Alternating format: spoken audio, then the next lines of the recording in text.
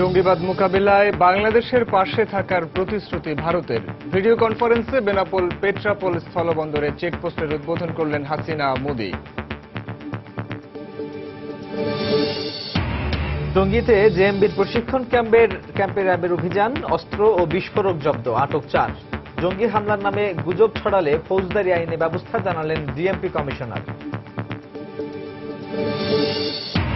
রাজশাহীতে নাম বদলে কার্যক্রম চালাচ্ছে পিস স্কুল। উদ্বিগ্ন অভিভাবক ও এলাকাবাসী গণমাধ্যমের বিরুদ্ধে বিকৃত তথ্য উপস্থাপনের অভিযোগ কর্তৃপক্ষের।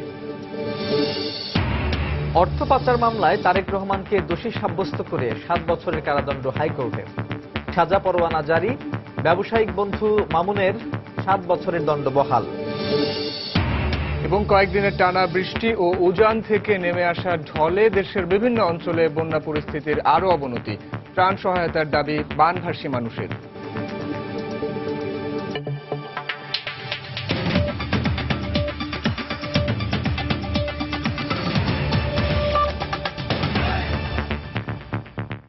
বাংলা সময়ের সঙ্গে আছি আমি সাইফুল উজ্জ এবং আমি সাজিদ রাজু। জঙ্গিবাদ মোকাবিলায় ভারত সবসময় বাংলাদেশের পাশে থাকবে বলে জানিয়েছেন ভারতের প্রধানমন্ত্রী নরেন্দ্র মোদী। বিকেলে বেনাপোল, পেট্রাপোল নবনির্মিত ইন্টিগ্রেটেড চেকপোস্টের উদ্বোধন করেন বাংলাদেশের প্রধানমন্ত্রী শেখ হাসিনা ও ভারতের প্রধানমন্ত্রী নরেন্দ্র মোদী। গণভবন থেকে ভিডিও কনফারেন্সের মাধ্যমে দুদেশের এই চেকপোস্ট উদ্বোধন করা হয়। এ সময় প্রধানমন্ত্রী শেখ হাসিনা বলেন, আঞ্চলিক যোগাযোগের মাধ্যমে এই অঞ্চলের জনগণ লাভবান হবে। ভারত বাংলাদেশের বন্ধুত্বপূর্ণ সম্পর্কের কথা উল্লেখ করে প্রধানমন্ত্রী বলেন, ভবিষ্যতে যে কোনো সমস্যা দ্বিপাক্ষিক আলোচনার মাধ্যমে সমাধান করা যাবে। ভারতের প্রধানমন্ত্রী তার বক্তব্যের শুরুতেই বাংলাদেশের সাম্প্রতিক জঙ্গি হামলার ঘটনার নিন্দা জানান জঙ্গিবাদ মোকাবিলায় বাংলাদেশ সবসময় ভারতকে পাশে থাকবে বলেও প্রতিশ্রুতি দেন তিনি বলেন দুদেশের বাণিজ্য সম্পর্ক সম্প্রসারণের মাধ্যমে দুদেশের জনগণের মধ্যে সম্পর্ক অটুট হবে has been given the topmost. This is a fully sanitized cargo complex. people of India and Bangladesh. আমরা প্রতিবেশী দেশ, দু দেশের মধ্যে আমাদের সম্পর্ক সবসময় সুন্দর থাকবে, সৌহার্দ্যপূর্ণ থাকবে, এবং যে কোনো সমস্যা হলেই আমরা তা দ্বিপাক্ষিক আলোচনার মাধ্যমে সমাধান করতে পারব, যা অতীতেও আমরা করেছি। সেভাবে আমাদের দুই দেশের সম্পর্ককে আরও আমরা সুন্দরভাবে গড়ে তুলতে চাই। আমাদের ব্যবসা, বাণিজ্য এবং বিভিন্ন ক্ষেত্রে আমাদের যে সহযোগিতা, এই সহযোগিতা অব্যাহত থাকবে। বেনাপোল পেট্রাপোল সমন্বিত চেকপোস্টের শুভ উদ্বোধনের ফলে আমাদের পারস্পরিক বাণিজ্য আরও প্রসারিত হবে, এটাই আমি আশা করি। বাংলাদেশ ও পশ্চিমবঙ্গের ভাই বোনেদের আমার নমস্কার।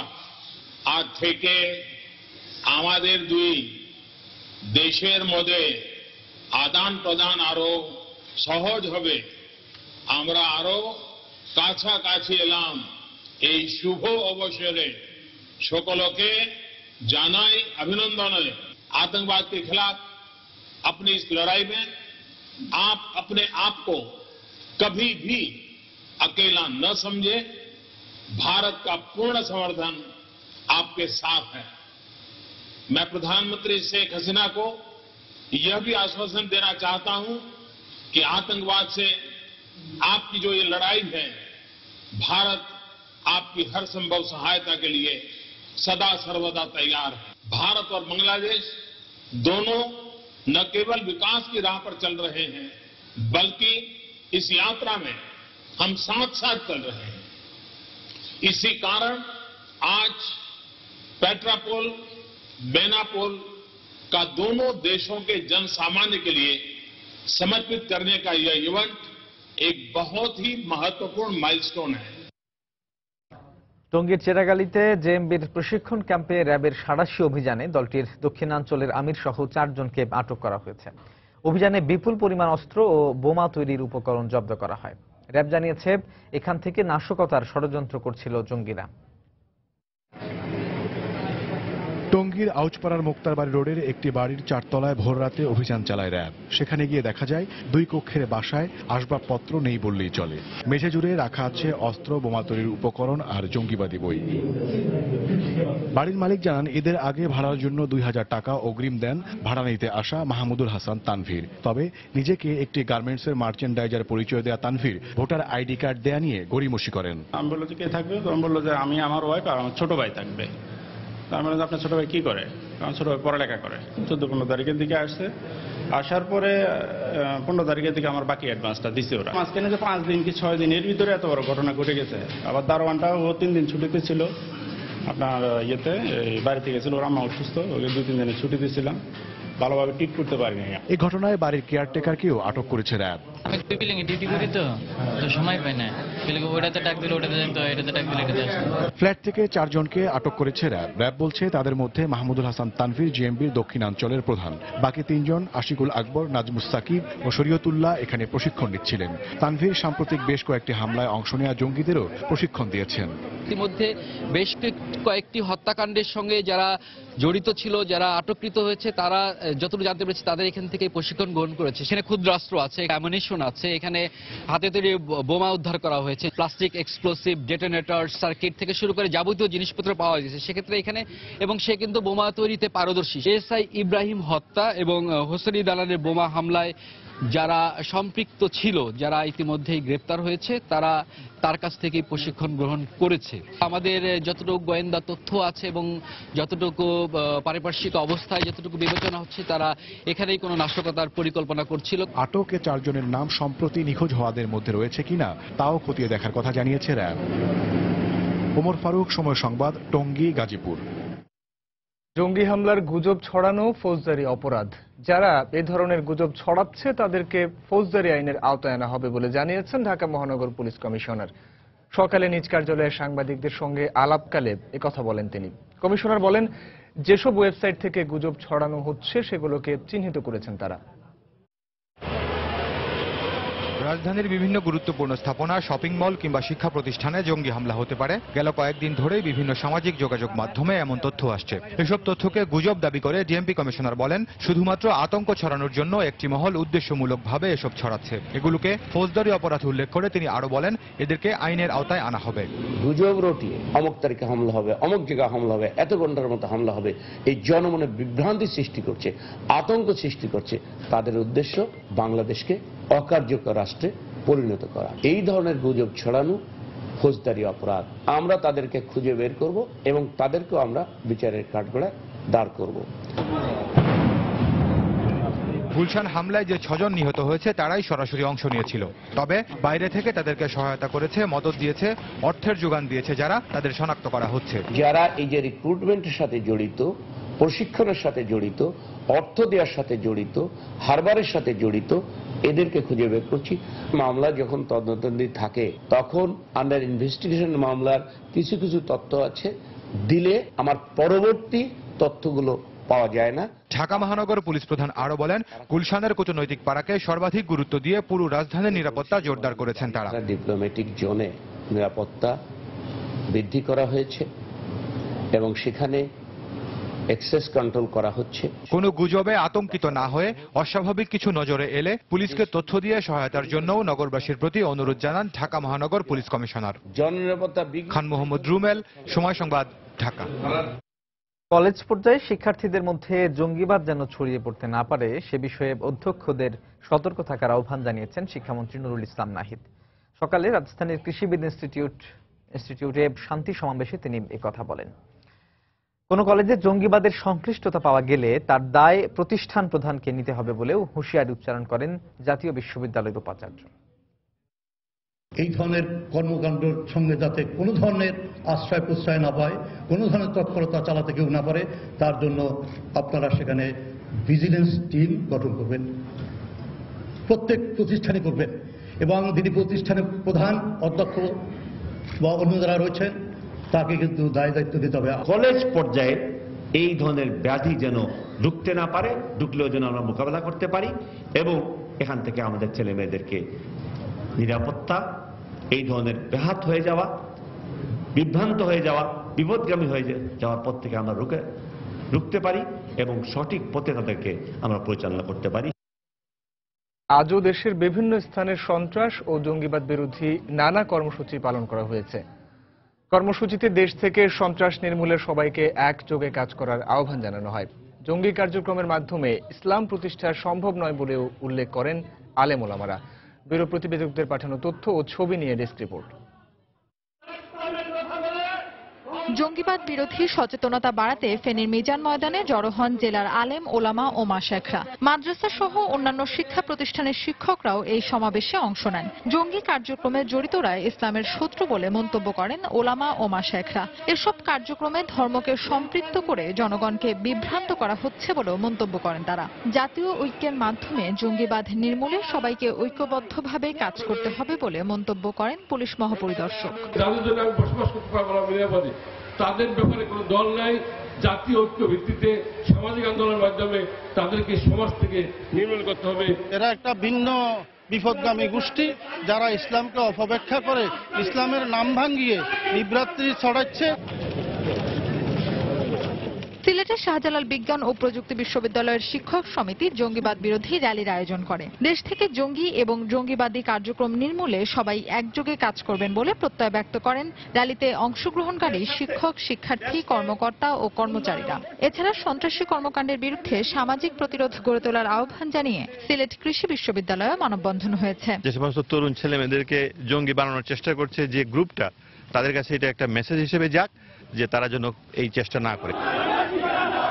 সারা দেশে অব্যাহত জঙ্গি হামলা ও সন্ত্রাসী কর্মকাণ্ডের বিরুদ্ধে বরিশালে বিক্ষোভ ও সমাবেশ করেছে স্বেচ্ছাসেবক লীগ। সবাই ঐক্যবদ্ধভাবে কাজ করলে অচিরেই দেশ জঙ্গিমুক্ত হবে বলে আশা প্রকাশ করেন বক্তারা। জনগণকে সাথে নিয়ে এই দুর্বৃত্ত জঙ্গিবাদ সন্ত্রাস সাম্প্রদায়িক মোকাবেলা করব।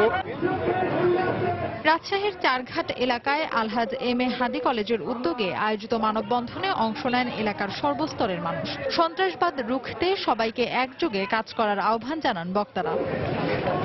ফাহমিদা মটুসি সময় সংবাদ। বাংলা সময় আরও থাকছে। পাহাড়ি ঢলে ভারত থেকে ভেসে আসা বন্য হাতি চষে বেড়াচ্ছে যমুনা তীরের লোকালয়ে। নষ্ট হচ্ছে ফসলের ক্ষেত আতঙ্কে মানুষ। উদ্ধারে পদক্ষেপ নেওয়ার আশ্বাস প্রশাসনের। অর্থ পাচার মামলায় বিএনপির সিনিয়র ভাইস চেয়ারম্যান তারেক রহমানকে দোষী সাব্যস্ত করে সাত বছরের কারাদণ্ড ও বিশ কোটি টাকা জরিমানা করেছেন হাইকোর্ট। একই সঙ্গে তার বিরুদ্ধে সাজা পরোয়ানাও জারি করেছেন আদালত। এছাড়া তার ব্যবসায়িক বন্ধু গিয়াসুদ্দিন আল মামুনের সাত বছরের সাজা বহাল রেখেছেন আদালত। তবে চল্লিশ কোটি টাকা জরিমানা থেকে কমিয়ে বিশ কোটি টাকা নির্ধারণ করা হয়েছে। দুদকের আইনজীবী জানান, তারেক রহমান পলাতক থাকায় এই রায়ের বিরুদ্ধে আপিল করতে হলে তাকে আত্মসমর্পণ করতে হবে। রাজনৈতিক প্রভাব খাটিয়ে বিদ্যুৎ কেন্দ্র স্থাপনের কাজ পাইয়ে দিতে একটি ঠিকাদারি প্রতিষ্ঠান থেকে বিশ কোটি টাকা ঘুষ নেওয়ার অভিযোগে দু হাজার নয় সালের ২৬ October BNP senior vice chairman Tarique Rahman ও তার ব্যবসায়িক বন্ধু গিয়াসুদ্দিনের মামুনের বিরুদ্ধে মামলাটি করে দুদক। সেনা সমর্থিত সরকারের আমলে দায়ের করা এই মামলায় দু হাজার তেরো সালের সতেরো নভেম্বর তারেক রহমান খালাস পেলেও মামুনকে সাত বছরের কারাদণ্ড দেন বিচারিক আদালত। একই মামলায় এক আসামির সাজা এবং অন্য আসামির খালাস হওয়ায় তারেক রহমানের রায়ের বিরুদ্ধে উচ্চ আদালতে আপিল করেন দুদক। একই আদালতে মামুনও আপিল করে খালাস চেয়ে। বৃহস্পতিবার তারেককে দোষী সাব্যস্ত এবং খালাসের রায় বাতিল করে সাত বছরের কারাদণ্ড ও বিশ কোটি টাকা জরিমানার রায় দিয়েছেন হাইকোর্ট। একই সঙ্গে সাত বছরের সাজা বহাল থাকে মামুনের। আদালত রায়ে রাজনৈতিক প্রভাব খাটিয়ে দুর্নীতিকে ফাইন্যান্সিয়াল ক্রাইম নামে অভিহিত করেছেন। তারিক রহমানের সাত বছর জেল এবং বিশ কোটি টাকা জরিমানা এবং গিয়াসুদ্দিন আল মামুনের সাত বছর জেল এবং বিশ কোটি টাকা জরিমানা। উনি যেদিন গ্রেফতার হবেন অথবা উনি যেদিন সারেন্ডার করবেন, সেদিন থেকে এই রায়টি কার্যকরী হবে। রাষ্ট্র ক্ষমতা অপব্যবহার করে কীভাবে দেশের সাধারণ মানুষ অর্থনৈতিকভাবে ক্ষতিগ্রস্ত হচ্ছে এবং এদের সাধারণ মানুষ প্রত্যেকটা মানুষ অ্যাফেক্টেড হচ্ছে, এই ব্যাপারে একটা বিশদ অবজারভেশন দিয়েছেন। এই মামলায় তারেক রহমান পলাতক থাকায় তার পক্ষে কোনো আইনজীবী উচ্চ আদালতে শুনানি করেনি। তারপরও পূর্ণাঙ্গ রায় দেখে এ বিষয়ে পরবর্তী পদক্ষেপ নেওয়ার কথা জানিয়েছেন বিএনপিপন্থী আইনজীবীরা। এই জাজমেন্টটি যথাযথভাবে হয়নি এবং এই এই মামলাতেই তারেক রহমান ন্যায় বিচার পায়নি। পরবর্তীতে আমরা আমাদের মক্কেলের সাথে আলোচনা করব এবং আলোচনা করে আমরা এই যে জাজমেন্টটা যখন পূর্ণাঙ্গ জাজমেন্ট পাব, এই জাজমেন্টটি আমরা বিচার বিশ্লেষণ করব। যদিও দুদকের আইনজীবী মনে করেন তারেক রহমান রায়ের বিরুদ্ধে সর্বোচ্চ আদালতে আপিল করতে চাইলে তা করতে হবে এক মাসের মধ্যে। অবশ্য এর আগে তাকে আত্মসমর্পণ করতে হবে। আফজাল হোসেন সময় সংবাদ ঢাকা। বিচারিক আদালতের বিচারককে প্রভাবিত করেই তারেক রহমান খালাস পেয়েছিলেন বলে মন্তব্য করেছেন আইনমন্ত্রী অ্যাডভোকেট আনিসুল হক। দুপুরে সচিবালয়ে নিজ কার্যালয়ে মন্ত্রী বলেন, রায়ের সার্টিফাইড কপি পাওয়ার পর তারেক রহমানকে দেশে এনে রায় কার্যকর করা হবে।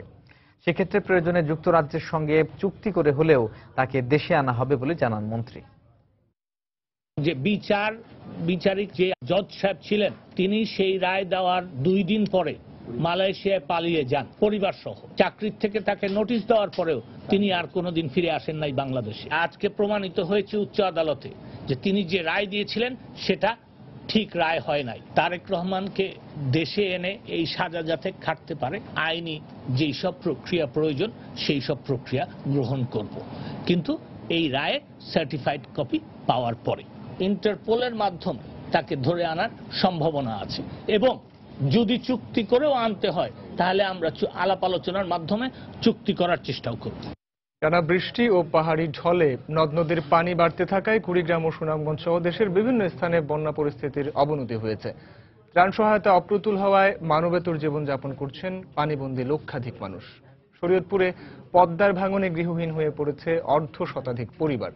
জেলা প্রতিনিধিদের পাঠানো তথ্য ও ছবি নিয়ে ডেস্ক রিপোর্ট।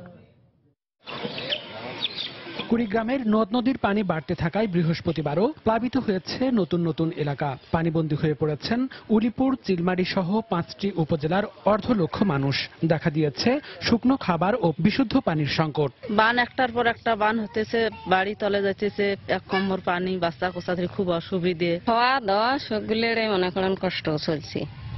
কোনটাই আন্দি কোনটাই বাড়ি খাই কোনটাই বন্যায় ক্ষতিগ্রস্তদের তালিকা তৈরি করছি ক্ষয়ক্ষতির বিবরণ প্রস্তুত করছি। এই তালিকা এবং ক্ষয়ক্ষতির বিবরণ পাওয়ার পর পরই আমরা তাদেরকে প্রয়োজনীয় সহায়তা প্রদান করব। সুনামগঞ্জে সুরমা নদীর পানি বিপদসীমার উপর দিয়ে প্রবাহিত হওয়ায় প্লাবিত হয়েছে বিশ্বম্ভরপুর ও দোয়ারাবাজার উপজেলার শতাধিক গ্রাম। পানিতে তলিয়ে যাওয়ায় গৃহহীন হয়েছেন দেড় হাজারেরও বেশি পরিবার। রাস্তাঘাট তলিয়ে যাওয়ায় বন্ধ রয়েছে অভ্যন্তরীণ সড়ক যোগাযোগ। দুর্গত এলাকায় এখনও ত্রাণ সহায়তা না পৌঁছায় মানবেতর জীবনযাপন করছেন বানভাসী মানুষ। আমরা আর বাড়িঘর নিচে গিয়ে এই রাস্তাঘাট এখন বন্ধ স্কুল স্কুলের ছেলে মেয়েরা যাইতে পারে না। ভাত খাইয়া দিনে বাঁচবো আমরা এই জনাই বাড়ির সাইডে উম, মাটি ভাঙিয়ে নিতেছে কি গরু বাছুরে ঘাস খাইতে পারে না। পানি বাড়ায় শরীয়তপুরে পদ্মার ভাঙন ভয়াবহ রূপ নিয়েছে। প্রতিদিনই বিলীন হচ্ছে নড়িয়া উপজেলার ঘড়িসার ও কেদারপুর ইউনিয়নের বসতবাড়ি সহ বিভিন্ন স্থাপনা। ভিটেমাটি হারিয়ে খোলা আকাশের নিচে বসবাস করছেন ক্ষতিগ্রস্তরা। এই অবস্থায় ভাঙন ঠেকাতে দ্রুত পদক্ষেপ নেওয়ার দাবি জানিয়েছেন স্থানীয় বাসিন্দা ও জনপ্রতিনিধিরা। মনিরুজ্জামান প্রান্ত, সময় সংবাদ। বন্যা পরিস্থিতির খবর জানাতে সুনামগঞ্জের নবীনগর এলাকায় আছেন রিপোর্টার আব্দুল আহাদ। আমরা সরাসরি চলে যাচ্ছি তার কাছে। আহাদ। রুদ্র, আপনাকে ধন্যবাদ। আসলে ভারতের মেঘালয় থেকে নেমে আসা পাহাড়ি ঢলে সুনামগঞ্জের যে নিম্নাঞ্চল যেগুলো রয়েছে সেগুলো ইতোমধ্যে প্লাবিত হয়ে গেছে। আজ সকাল পর্যন্ত মূলত দুটি উপজেলা প্লাবিত হয়েছিল। সেগুলো হলো বিশ্বম্বরপুর এবং দোয়ারাবাজার উপজেলা। কিন্তু আজ বিকেল থেকে তাহিরপুর উপজেলাও আসলে উপজেলার নিম্নাঞ্চল যেগুলো রয়েছে সেগুলো ইতোমধ্যে প্লাবিত হয়ে গেছে। তো আমি এখন আছি সুনামগঞ্জ শহরের একটি এলাকায়। আপনারা যেমনটি দেখতে পাচ্ছেন যে, এই এলাকায় সুরমা নদী থেকে পানি কীভাবে এসে হাওরে এবং মানুষের বাসাবাড়িতে এসে এসে ঢুকছে।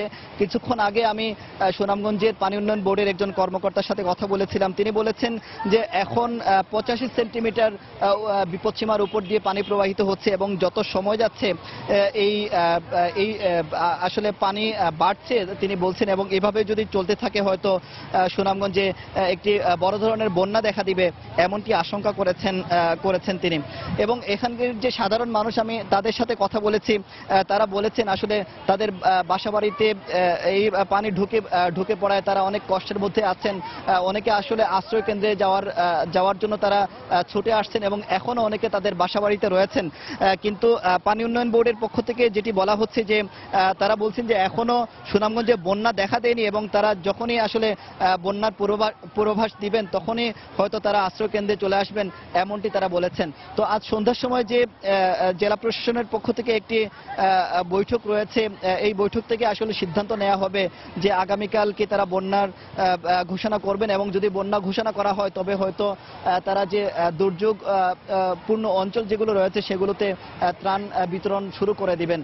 তবে আমি কথা বলেছিলাম এই- যে বানভাসী মানুষের সাথে তারা বলেছেন যে তারা অনেক কষ্টের মধ্যে আছেন তারা এখনও রান্না বান্না করতে পারছেন না আসলে তাদের বাচ্চাদের নিয়ে এবং পশু যেগুলো গরু ছাগল সেগুলো নিয়ে তারা অনেক বিপদের মধ্যে আছেন। আসলে তারা কি করবেন সেগুলো অনেকে বুঝে উঠতে পারছেন না। তো আমি কিছুক্ষণ আগে এই সুনামগঞ্জ পৌরসভার যিনি মেয়র রয়েছেন, তার সাথে কথা বলেছিলাম। তিনি এই অঞ্চলগুলো যেগুলো প্লাবিত হয়েছে, সেই অঞ্চলগুলো তিনি ঘুরে দেখছেন এবং তিনিও আশ্বস্ত করেছেন, আসলে যারা ক্ষতিগ্রস্ত হচ্ছেন এবং যারা আগামীতে ক্ষতিগ্রস্ত হবেন, তাদেরকে পৌরসভার পক্ষ থেকে সহায়তা করা হবে, এমনটি তিনি আশ্বস্ত করেছেন। তবে সবচেয়ে খারাপ যে অঞ্চলগুলো, সেগুলো হচ্ছে বিশ্বম্বরপুর এবং দোয়ারাবাজার উপজেলা। এই উপজেলার প্রায় বিশটি ইউনিয়ন ইতিমধ্যে প্লাবিত হয়ে গেছে এবং মানুষের বাসাবাড়ির পাশাপাশি তাদের যে ফসলি জমি সেগুলো তলিয়ে গেছে এবং মানুষের যে মাছের যে ঘেরগুলো ছিল সেগুলো পানির সাথে মিশে গেছে। এমনটি আমরা যারা ভুক্তভোগী তাদের সাথে কথা বলে আমরা জেনেছি। রুদ্র এই ছিল এখনও পর্যন্ত সুনামগঞ্জের আহ, আহ, সবশেষ খবর। দর্শক সুনামগঞ্জের নবীনগর এলাকা থেকে বন্যা পরিস্থিতির খবরাখবর জানাচ্ছিলেন আমাদের সহকর্মী আব্দুল আহাদ। বাংলার সময় আরও থাকছে। নিখোঁজের তিন দিন পর নরসিংদীর এক স্কুল শিক্ষার্থীর লাশ উদ্ধার। পূর্ব শত্রুতার জের ধরে এই হত্যাকাণ্ড বলছে পুলিশ।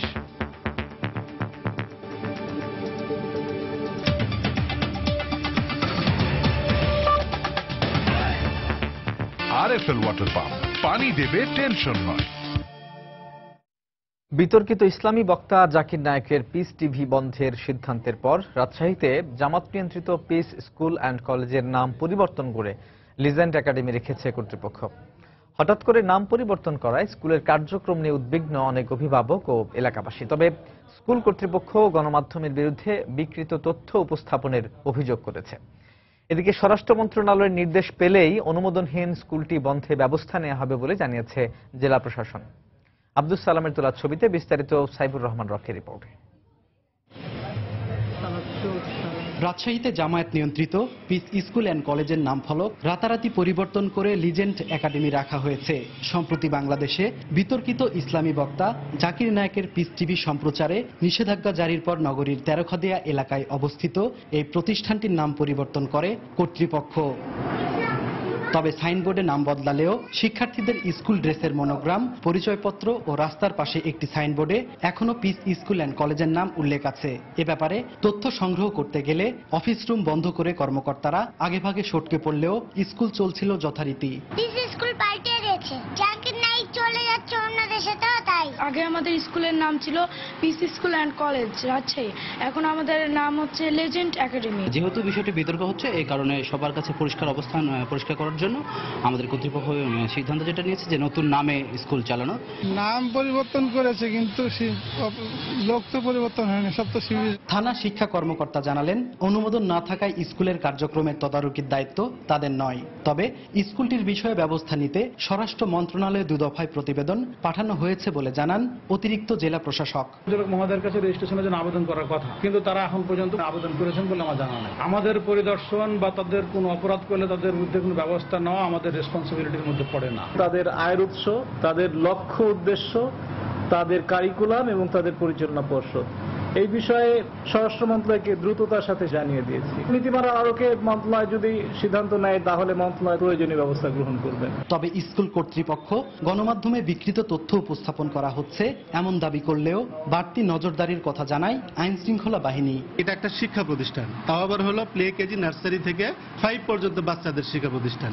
টেলিভিশন চ্যানেল আর শিক্ষা প্রতিষ্ঠান তো এক না। অথচ কিছু মিডিয়া সংবাদপত্র এগুলোকে ওইটার সাথে মিলিয়ে মানুষকে বিভ্রান্ত করার একটা চেষ্টা চালা যায় আবাসিক হোটেল, বিভিন্ন প্রতিষ্ঠান এগুলোতে বাড়তি নজরদারি রাখছি।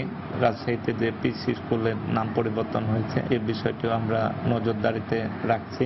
ইসলামী ব্যাংক রাজশাহী শাখার কর্মকর্তা মোর্শেদ জামানের নিয়ন্ত্রিত এই স্কুলের শিক্ষার্থীর সংখ্যা আড়াইশোরও বেশি আর জামায়াতের রাজনীতির সাথে জড়িত চাঁপাইনবাবগঞ্জের আতাউর রহমান স্কুলের অধ্যক্ষের দায়িত্বে আছেন। সাইফুর রহমান, রকি, সময় সংবাদ, রাজশাহী। ঢাকার গুলশান ও কিশোরগঞ্জের শোলাকিয়ায় জঙ্গি হামলার পর অতীতের হামলাগুলো বিশ্লেষণ করে উদ্বিগ্ন সিলেট প্রশাসন। ইতোমধ্যে জঙ্গি তৎপরতার সঙ্গে জড়িত সন্দেহে শাহজালাল বিশ্ববিদ্যালয় এবং লিডিং ইউনিভার্সিটির দুইজন শিক্ষার্থী গ্রেফতার হয়েছে। র্যাবের প্রকাশিত নিখোঁজ তালিকায় রয়েছে এই অঞ্চলের নয় জনের নাম। সবকিছু বিবেচনায় নিয়ে সিলেটবাসীর নিরাপত্তা নিশ্চিতে নেওয়া হয়েছে নানা উদ্যোগ। দিগেন সিংহের তোলা ছবিতে আরও জানাচ্ছেন ইকরামুল কবির। দু হাজার চার সালে হজরত শাহজালাল রহমতুল্লাহি আলাহির মাজারে ব্রিটিশ হাই কমিশনার আনোয়ার চৌধুরীর ওপর গ্রেনেড হামলার আগে ও পরে সিলেট অঞ্চলে বেশ কয়েকটি জঙ্গি হামলা ছাড়াও জেএমবি প্রধান শায়েক আব্দুর রহমানকে এখান থেকে গ্রেপ্তার করা হয়। সাম্প্রতিক সময়ে দেশের বিভিন্ন স্থানে জঙ্গি হামলার পর মানুষের মধ্যে দেখা দেয় উৎকণ্ঠা। মঙ্গলবার র্যাব নিখোঁজ ব্যক্তিদের যে তালিকা প্রকাশ করেছে, তাতে সিলেট অঞ্চলে রয়েছে নয় জন সার্বিক পরিস্থিতি নিয়ে সিলেটের বিভাগীয় আইন শৃঙ্খলা কমিটির সভা জুড়ে ছিল জঙ্গি মোকাবেলায় কৌশল নির্ধারণ। আমরা তথ্য মানে কালেকশন করার চেষ্টা করছি যাতে আমরা নিশ্চিত হতে পারি তাদের এই ধরনের জঙ্গি সম্পর্ক- সম্পর্কিত কোনো ধরনের সম্পৃক্ততা আছে কিনা। সরকারি বেসরকারি দপ্তর এবং প্রতিষ্ঠানের সাথে আলোচনা করে তাদের নিজস্ব নিরাপত্তা বৃদ্ধির জন্য আমরা বিভিন্ন সুপারিশ করছি। এদিকে শাহজালাল বিশ্ববিদ্যালয়ের আইপিই বিভাগের চতুর্থ বর্ষের ছাত্র আব্দুল আজিজ এবং লিডিং ইউনিভার্সিটির এমবিএ শেষ বর্ষের ছাত্র মাহমুদ চৌধুরীকে জঙ্গি কানেকশনে আটক করেছে পুলিশের বিশেষ দল। এতে সিলেটের বিশ্ববিদ্যালয়গুলোর উপর নজরদারি বাড়ানো হয়েছে। আর ছাত্র উপদেষ্টাকে প্রধান করে ছয় সদস্যের কমিটি করা হয়েছে সাবিতে। হায়ার এডুকেশনের যারা যারা আছে এবং যারা বিশ্ববিদ্যালয়ের আহ, বিশ্ববিদ্যালয় কলেজ তাদেরকে নিয়ে আলাদা একটা বসবো। বসে একটা প্ল্যান আমরা করছি। ডিপার্টমেন্টের হেডগুলো হেডদেরকে বিভিন্নভাবে বলতেছি যে এই সমস্ত কার্যক্রমে যেন ছাত্রছাত্রীরা কোনো অবস্থাতেই জড়িয়ে না পড়ে সে সে ব্যাপারে তাদেরকে সজাগ করা তাদেরকে উপদেশ দেওয়া। এদিকে জঙ্গি সন্ধানদাতার জন্য পুরস্কার ঘোষণা করেছেন বিভাগীয় কমিশনার। জঙ্গি গ্রেফতার করতে পারি এবং কার্যকর অপারেশন চালাতে পারি, তাহলে যিনি তথ্য দেবেন তাকে আমরা প্রশাসনের পক্ষ থেকে এক লক্ষ টাকা পুরস্কৃত করব। সিলেট বিভাগের গ্রাম থেকে শহর পর্যন্ত আইন শৃঙ্খলা বাহিনীর সব স্তরের সদস্যদের সর্বোচ্চ সতর্ক থাকার নির্দেশ দিয়েছে বিভাগীয় প্রশাসন। ইকরামুল কবির, সময় সংবাদ, সিলেট। দর্শকের রিপোর্টটি আমরা দেখলাম। বিষয়ে বিস্তারিত কথা বলব আমাদের আজকের অতিথি সিলেট সিলেট ব্যুরোতে তিনি আছেন জেলা প্রশাসক জয়নাল আবেদিন তার সঙ্গে কথা বলব। আর জনাব জয়নাল আবেদিন আপনাকে আমাদের স্টুডিওতে স্বাগত জানাচ্ছি। আপনাকে অনেক ধন্যবাদ। আপনাকে প্রথমে আপনার কাছে যে বিষয়টি জানতে চাই যে এই রিপোর্টটিতে আমরা তো দেখলাম আপনিও দেখলেন জঙ্গি তৎপরতার সঙ্গে জড়িত সন্দেহে সিলেটের দুজন শিক্ষার্থীকে এর মধ্যে আটক করা হয়েছে। তো এই ঘটনার পর থেকে বিশ্ববিদ্যালয়গুলোতে নজরদারি কীরকম বাড়ানো হয়েছে কিনা বা কেমন ব্যবস্থা নেওয়া হয়েছে? আমাদের সিলেটে পাঁচটি বেসরকারি বিশ্ববিদ্যালয় আছে। তার মধ্যে এই ঘটনার পরে আমাদের স্বাভাবিকভাবেই একটা আর গোয়েন্দা রিপোর্ট র্যাবের গোয়েন্দা রিপোর্ট আমাদের সিটিএসবির গোয়েন্দা রিপোর্ট অনুযায়ী নজরদারি বাড়ানো হয়েছে। যথেষ্ট শহরে এবং বিশ্ববিদ্যালয়েও আমাদের নজরদারি বাড়ানো হয়েছে। যথেষ্ট আমরা আমরা আমাদের আইন শৃঙ্খলা রক্ষাকারী বাহিনী কীভাবে জঙ্গি মুক্ত করা যায়, এই ব্যাপারে আমরা যথেষ্ট সচেতন আছি। জনাব জয়নাল আবেদিন, আমরা সিলেট থেকে দেখলাম যে নয় জন এখন পর্যন্ত নিখোঁজ রয়েছে। তো সারা বাংলাদেশে যারা নিখোঁজ রয়েছে তাদের অনেকের ব্যাপারে আইন শৃঙ্খলা রক্ষা কাহিনীর বাহিনীর কাছে অনেক ক্ষেত্রে বিভিন্ন সময় তথ্য ছিল। কিন্তু আপনাদের সিলেটে কি নয় জনের ব্যাপারে আগে থেকে কি জানতেন যে আগে থেকে নিখোঁজ হয়েছে বা খুঁজে পাওয়া যাচ্ছে না, এই ধরনের কোনো তথ্য কি জানতেন? এমনি আমরা জানতাম না, আমাদের এই ঘটনা আর্টিজান এবং আমাদের সোলাগে ঘটনার পরে আমরা নজরদারি বাড়িয়েছি, আমাদের গোয়েন্দা তৎপরতা বাড়িয়েছি, বিভিন্ন উপজেলায় আমরা কাজ করছি। এইভাবে তাছাড়া দুই একটি উপজেলা আগে থেকে আমাদের নলেজে ছিল যেমন কানাইঘাট, জৈন্তাপুর, জকিগঞ্জ। এই সমস্ত বিষয়ে আমাদের আগে থেকে নলেজে ছিল। পরবর্তী পর্যায়ে সিরিয়াস হওয়ার পরে আমরা এগুলো পেয়েছি এবং আমরা বিভিন্ন উপজেলায় যাচ্ছি। এবং ইমাম এবং বিভিন্ন মাদ্রাসা এদের সাথে আমরা বিভিন্নভাবে বক্তব্য দিচ্ছি চেয়ারম্যানদের সাথে বক্তব্য দিচ্ছি। ওনারা যেন যারা হারিয়ে গেছে অথবা পালিয়ে গেছে তাদেরকে দেওয়ার জন্য উদাত্ত আহ্বান জানাচ্ছি। ওনারা আমাদেরকে সহযোগিতা করছেন। বিভিন্ন রকমের যারা দীর্ঘদিন যাবৎ বাড়িতে নাই বা স্কুলে যে শিক্ষা প্রতিষ্ঠান নাই তারা আমাদেরকে সহযোগিতা করছেন। আরেকটি পদক্ষেপ আপনারা নিয়েছেন। আরেকটি পদক্ষেপ সেটি হচ্ছে জঙ্গি সন্ধানদাতার জন্য এক লাখ টাকা পুরস্কারের ঘোষণা করেছে বিভাগীয় কমিশনার। তো আপনার কি মনে হয় যে সাধারণ মানুষের মধ্যে এই ধরনের মানে এই ঘোষণা কোনো ইতিবাচক প্রভাব ফেলবে বা সাধারণ মানুষ এই জঙ্গিদের ব্যাপারে তথ্য আপনাদেরকে দেবে? এটা একটি একটি পজিটিভ একটি ধারণা থেকে এটা নেওয়া হয়েছে। এখানে যারা যেদিন এখানে ঘোষণাটা করা হয়েছিল সকল ডিসি সাহেবরা ছিলেন, আইন প্রয়োগকারী বিভাগীয় পর্যায়ের কর্মকর্তারা ছিলেন, এসপি এবং ডিআইজি সাহেব ছিলেন, পুলিশ কমিশনার ছিলেন এবং বিভাগীয় পর্যায়ের বিভিন্ন সেক্টর কর্মকর্তারা ছিলেন। তারা স্বাভাবিকভাবেই বিভিন্ন জঙ্গি বিরোধী সন্ত্রাস এবং নাশকতা বিরোধী বিভিন্ন কর্মকাণ্ডে অংশগ্রহণ করেন। তারা যেন এটা সবাই বলেন, সবাইকে জানান। এ কারণে এটা বলা হয়েছে, পজিটিভ একটি দৃষ্টিভঙ্গি, পজিটিভ একটি সবার একটা সমর্থন আমরা আদায় করার জন্য। এবং এটা যাতে মানুষ এই ব্যাপারে আমাদের সাপোর্ট দেয় এবং জঙ্গি বিরোধী কোনো বিষয় থাকলে, জঙ্গি তৎপরতা সম্পর্কে কিছু থাকলে, সাথে সাথে আমাদেরকে জানায়। উৎসাহ উদ্দীপনা দেওয়ার জন্য বলা হয়েছে। জনাব জয়নাল আবেদিন, আপনাকে অনেক ধন্যবাদ আমাদের সঙ্গে যোগ দেওয়ার জন্য। দর্শক সিলেট ব্যুরো স্টুডিওতে আমাদের সঙ্গে যোগ দিয়েছিলেন সিলেট জেলা প্রশাসক জয়নাল আবেদিন। সারা দেশের মতো ব্রাহ্মণবাড়িয়ায় তেরোটি রাষ্ট্রীয় গুরুত্বপূর্ণ স্থাপনায় বিশেষ নিরাপত্তা ব্যবস্থা জোরদার করা হয়েছে। পুলিশ জানায়, বাংলাদেশ টেলিভিশন, বেতার কেন্দ্র, সাতটি গ্যাস ক্ষেত্র সহ বিদ্যুৎ উৎপাদন কেন্দ্রে নিরাপত্তা ব্যবস্থা জোরদার করা হয়েছে।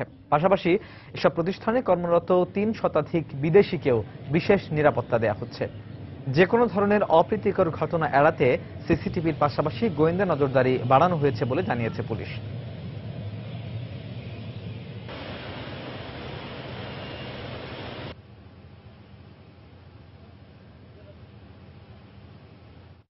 নরসিংদীতে নিখোঁজের তিন দিন পর মরণচন্দ্র দাস নামের তৃতীয় শ্রেণির এক শিক্ষার্থীর মৃতদেহ উদ্ধার করেছে পুলিশ। এ ঘটনায় জড়িত সন্দেহে একজনকে আটক করা হয়েছে। সকালে সদর উপজেলার রাজাদি এলাকা থেকে মৃতদেহটি উদ্ধার করা হয়। পুলিশ ও স্বজনরা জানান, গত সোমবার বাড়ির সামনে থেকে অনিক নামের প্রতিবেশী এক যুবক শিশুটিকে ডেকে নিয়ে যায়। পরে অনেক খোঁজাখুঁজি করেও তাকে না পেয়ে নরসিংদী সদর মডেল থানায় সাধারণ ডায়েরি করেন মরণ দাসের বাবা বিজন চন্দ্র দাস। অবশেষে আজ সকালে বাড়ির পাশের একটি কলা বাগান থেকে শিশুটির লাশ উদ্ধার করা হয়।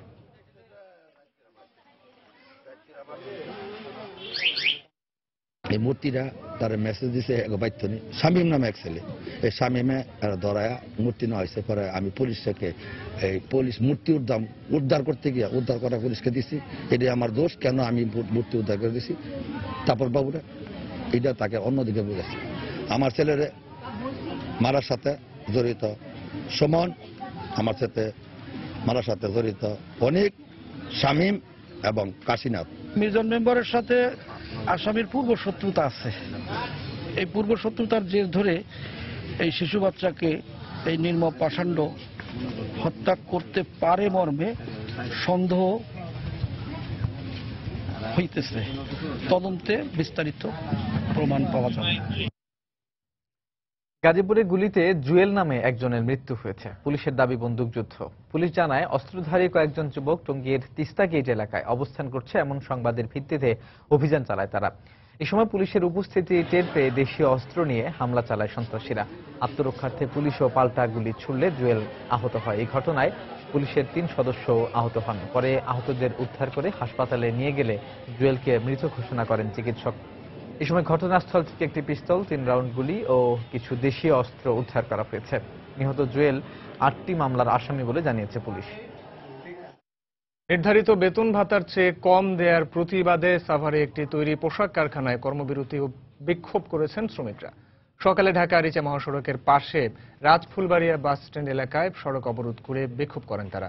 শ্রমিকরা জানায়, বুধবার তেরোশো শ্রমিকের জুন মাসের বেতন ভাতা পরিশোধ করে নাসা গ্রুপের গোল্ডেন স্টিচ ডিজাইন কর্তৃপক্ষ। তবে তা নির্ধারিত বেতন ভাতার চেয়ে অনেক কম। এর জেরে আজ সকালে তারা প্রতিবাদ জানিয়ে কর্মবিরতি শুরু করেন। পরে পুলিশ এসে তাদের কারখানা থেকে সরিয়ে দেয়। প্রতিবাদে কারখানায় ভাঙচুর সহ ঢাকা রিচা মহাসড়ক অবরোধ করেন শ্রমিকরা। পরে পরিস্থিতি নিয়ন্ত্রণে কারখানা একদিনের ছুটি ঘোষণা করেন কর্তৃপক্ষ। খুলনার পাইকগাছায় বাঘের পনেরো পিস হাড় সহ দুইজনকে আটক করেছে র্যাব। বুধবার সন্ধ্যায় অভিযান চালিয়ে তাদের আটক করা হয়। সকালে র্যাব কার্যালয়ে এক সংবাদ সম্মেলনে তথ্য জানানো হয়। র্যাব জানায়, খুলনার পাইকগাছা উপজেলার বেদবুনিয়া ফেরিঘাট এলাকায় অভিযান চালিয়ে বাঘের হাড় সহ গোলাম রসুল ও খলিল নামের দুজনকে আটক করা হয়। আটককৃতরা দীর্ঘদিন ধরে সুন্দরবনের বাঘ ও হরিণ শিকার করে আসছে বলে জানিয়েছে র্যাব।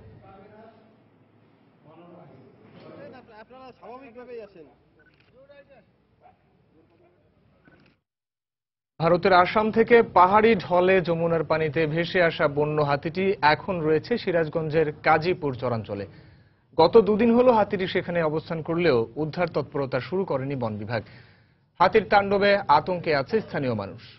প্রশাসন বলছে, বন্য হাতি থেকে রক্ষা পেতে মানুষকে সচেতন করার পাশাপাশি এটি উদ্ধারে বন বিভাগের সঙ্গে যোগাযোগ করা হচ্ছে। সিরাজগঞ্জ থেকে অমৃত সেনের ছবি নিয়ে রিঙ্কু কুণ্ডু রিপোর্ট। মঙ্গলবার সকালে যমুনা নদীর পানিতে ভেসে সিরাজগঞ্জ আসে বন্য হাতিটি। আশ্রয় নেয় জেলার কাজীপুর উপজেলার চরছিন্না গ্রামে। এরপর থেকে ভয়ে আর আতঙ্কে দিন কাটাচ্ছেন স্থানীয় চরের মানুষ। হাতির তাণ্ডবে নষ্ট হচ্ছে জমির ফসল। বাড়ি ঘর তার ফল ফল নিয়ে। আমরা খুব বিপদে আছি। ভয়ে ঠেলা সল ফল বাইরে বেড়া হইতেছে না। ধরতেও পারতেছি না। আমরা দৌড়াইতেও পারতেছি না। খেতেও দিয়ে হইতেছি না। কোন দিক যাইতেছে না খালি এখানে নদী ঘুরতেছে আমরা দাবি জানাতে যে সরকার তেন কোনো লোক আসা এই হাতি দিয়ে যে কোনো ব্যবস্থা করে এখান থেকে সরাই নিয়ে যাক। হাতির তাণ্ডব ঠেকাতে এলাকার জনপ্রতিনিধির মাধ্যমে কমিটি গঠন করা হয়েছে বলে জানিয়েছে পুলিশ। যাতে স্থানীয় লোকালয়ে হাতি প্রবেশ করতে না পারে সেজন্য আমরা মাইকিং এর মাধ্যমে এলাকায় জনসচেতনতা ব্যবস্থা করছি। আর ইউনিয়ন চেয়ারম্যান মেম্বারদের সাথে কথা বলে স্থানীয় জনগণকে নিয়ে সেখানে একটি ভিডিপি পার্টি গঠন করেছি। হাতিটি উদ্ধারের জন্য প্রশাসনের পক্ষ থেকে সংশ্লিষ্ট বন বিভাগের সাথে যোগাযোগ করা হচ্ছে বলে জানালেন জেলা প্রশাসক। বন বিভাগের মাধ্যমে ইন্ডিয়ান সরকারের সঙ্গে যোগাযোগ করা হচ্ছে। এবং তারা এসে এই হাতিটি তাদের এবং তারা এটা উদ্ধার করে নিয়ে যাবে। ছাব্বিশ জুন কুড়িগ্রামের রৌমারী উপজেলার সীমান্ত দিয়ে নদীর স্রোতের সাথে বাংলাদেশে প্রবেশ করে হাতিটি। এরপর থেকেই বিভিন্ন জেলার লোকালয়ে বিচরণ করে বেড়াচ্ছে। রিঙ্কু কুন্ডু সময় সংবাদ সিরাজগঞ্জ। বাংলা সময়ের শীর্ষ সংবাদগুলো জানিয়ে দিচ্ছি আরও একবার।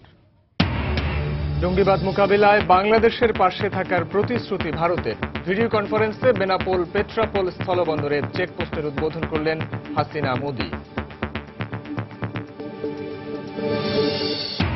টঙ্গীতে জেএমবির প্রশিক্ষণ ক্যাম্পে র্যাবের অভিযান অস্ত্র ও বিস্ফোরক জব্দ আটক চার। জঙ্গি হামলার নামে গুজব ছড়ালে ফৌজদারি আইনি ব্যবস্থা জানালেন ডিএমপি কমিশনার। রাজশাহীতে নাম বদলে কার্যক্রম চালাচ্ছে পিস স্কুল উদ্বিগ্ন অভিভাবক ও এলাকাবাসী। গণমাধ্যমের বিরুদ্ধে বিকৃত তথ্য উপস্থাপনের অভিযোগ কর্তৃপক্ষের। অর্থ পাচার মামলায় তারেক রহমানকে দোষী সাব্যস্ত করে সাত বছরের কারাদণ্ড হাইকোর্টে। সাজা পরোয়ানা জারি ব্যবসায়িক বন্ধু মামুনের সাত বছরের দণ্ড বহাল এবং কয়েকদিনের টানা বৃষ্টি ও উজান থেকে নেমে আসা ঢলে দেশের বিভিন্ন অঞ্চলে বন্যা পরিস্থিতির আরও অবনতি। ত্রাণ সহায়তার দাবি বানভাসী মানুষের।